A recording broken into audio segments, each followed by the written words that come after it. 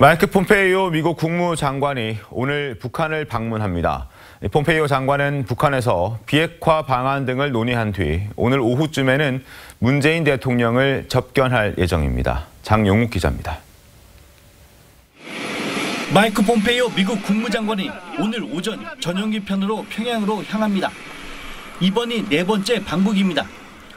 폼피오 장관은 평양에서 김정은 위원장과 면담할 예정입니다.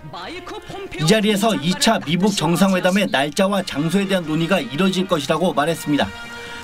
폼페오 장관은 완전한 비핵화에 도달한 후 북한 주민의 밝은 미래를 위한 약속을 실행해 나갈 것이라며 선 비핵화 원칙을 재확인했습니다. 특히 미국의 상응 조치에 대해서 미국은 이미 조치를 취했다며 북한의 비핵화 행동을 촉구했습니다.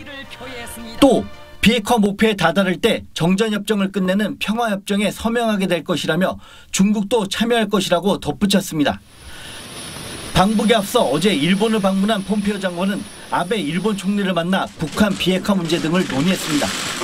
It's important for us to hear from you as we, as I travel to Pyongyang to make sure that uh, we're fully in sync with respect to uh, missile programs, the CBW programs, we will bring up the issue of the abductees as well. 폼페오 장관은 방북 일정을 마친 뒤 오늘 오후 서울로 올 예정입니다. 폼페오 장관은 문재인 대통령을 찾아 방북 결과를 설명할 것으로 보입니다. TV조선 장용욱입니다.